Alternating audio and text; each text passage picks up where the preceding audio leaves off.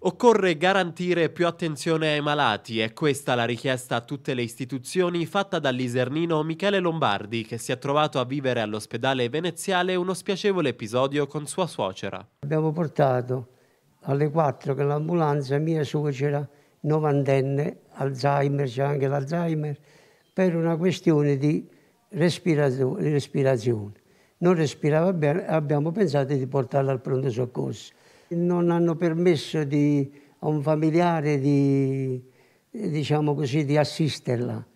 Quando siamo rientrati eh, ci hanno chiamato, hanno chiamato mia moglie, è andata là, l'ha trovata con un occhio pieno di sangue e, giustamente era caduta perché altrimenti non si, non si, poteva fare quel danno.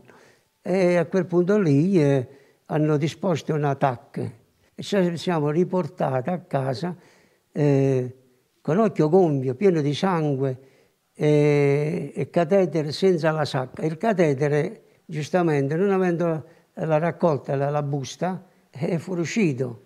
Però poi l'ho chiesto all'ospedale, eh, un medico ha mandato un infermiere qui a levare il catetere. Le condizioni di affanno in cui versa il pronto soccorso del Veneziale sono ormai note e ora anche la richiesta di Lombardi si aggiunge alle tante già espresse da cittadini, medici e paramedici. Serve intervenire rapidamente per trovare soluzione ai problemi dei turni sfiancanti e della carenza di personale, così da far sentire ogni paziente tutelato.